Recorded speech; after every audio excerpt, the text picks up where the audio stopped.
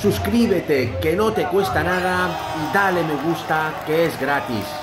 Antes de empezar, no te olvides de darle me gusta, pulsar el dedito de arriba, que no te va a costar nada, es totalmente gratis para que este vídeo llegue a más culés como tú.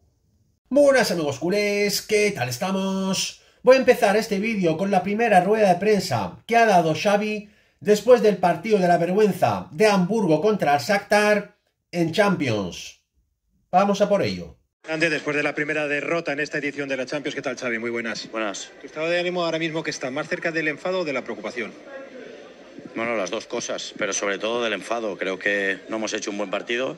Está claro, la segunda parte lo hemos intentado con más, con más prácticamente coraje que, cabeza, pero no ha salido nada de lo planeado. Eh, es una lástima porque hoy queríamos certificar la clasificación y es un paso atrás clarísimo, pero lo sabemos, esto es la Champions, esta competición exige el máximo nivel y hoy no lo hemos, no lo hemos dado. Eh, a recapitular, a a tranquilizar al equipo y a pensar ya en el, domingo, pero es verdad que es un, es un paso atrás y sí, enfadados, estamos enfadados. El otro día hablabas un problema de actitud, un poco también de, intensidad. ¿En el día de hoy a qué lo achacas? No, no diría intensidad, yo diría al juego, ¿no? Eh, no hemos entendido lo que, lo que requería el partido, eh, hemos perdido mucho balón, no hemos atacado bien. Eh, no hemos defendido bien ese, ese centro lateral que teníamos que haber defendido y bueno, los errores se pagan caros. Lo hemos intentado, la segunda parte el equipo le ha puesto actitud, le ha puesto intensidad, pero no, no hemos generado lo suficiente, así que nada, un mal partido del equipo y a, seguir. ¿Te preocupa que el equipo no pueda reaccionar o no sepa reaccionar? Digo después de, de dos partidos así donde no han sido buenos. Bueno, la reacción creo que la segunda parte ha sido, ha sido buena, pero insuficiente. O sea que hay que seguir trabajando, mejorar cómo atacar, mejorar en defensa y los pequeños detalles son los que nos, está pasando, nos están pasando factura, ¿no? A recuperar a la gente, recuperar, esto sigue, esto es muy largo y bueno, sí que está claro que es un paso, un paso atrás, ¿no? Una pena porque hoy queríamos certificar como mínimo el pase a, a octavos y no ha podido ser. Muchas gracias, Xavi. Gracias.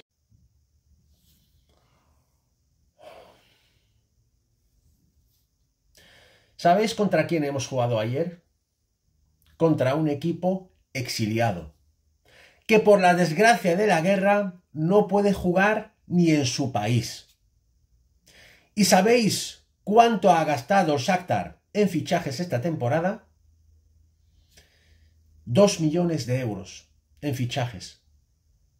Solo Rafinha ha costado 75 millones de euros. Solo Farran Torres ha costado 65 millones de euros. Y nos han pintado la cara. Nos han pintado la cara ayer. De cabo a rabo. En 90 minutos. En 90 minutos. Con Lewandowski, con Rafinha, con Joao Félix, con Gundogan, con, con todos. Hemos disparado un solo tiro entre los tres palos. En 90 minutos. Y viene Xavi con esta rueda de prensa y sale con las excusas de siempre. Sale con las excusas de siempre. Lo de siempre. En el primer tiempo hemos jugado relajados, pero en el segundo hemos apretado, ellos se han echado atrás, hemos enfadado, no estamos enfadados, no sé qué, no sé cuál y ninguna solución. Ni una solución. No da ni una solución. Sale con las mismas excusas de siempre. ¿Sabéis cuántos partidos hemos ganado en Europa con Xavi en el banquillo del Barça? Siete de veinte partidos. De veinte partidos con Xavi solo hemos ganado siete. ¿Quiere ganar el partido?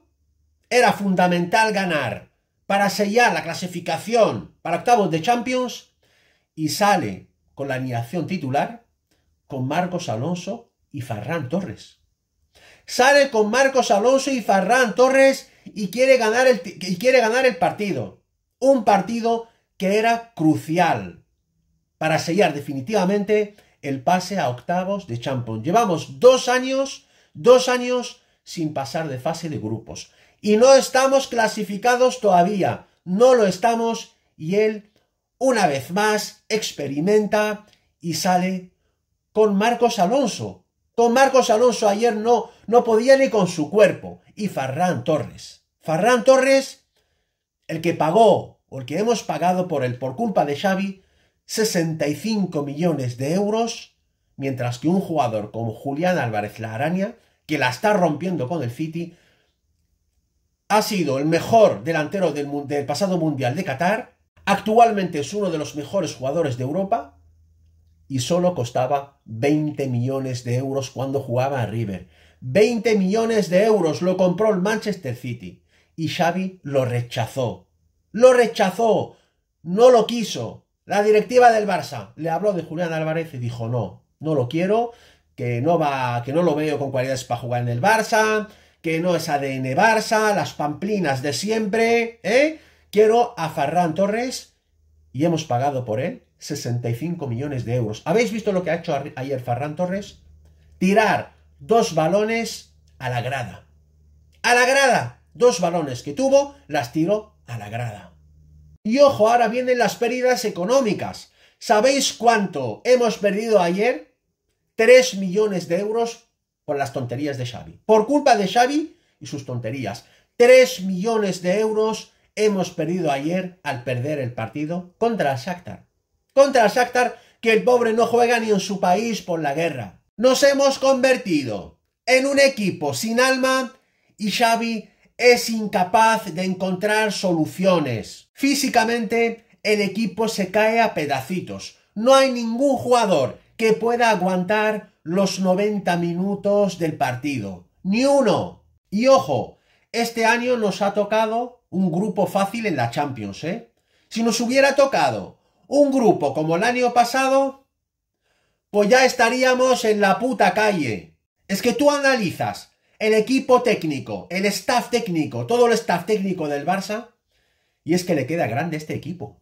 Es que le queda grandísimo el Barça. Y hay que decirlo, hay que decirlo sin miedo. El staff de Xavi, con Xavi incluido, le queda grandísimo el Barcelona. Está claro que con Xavi no vamos a ganar la Champions.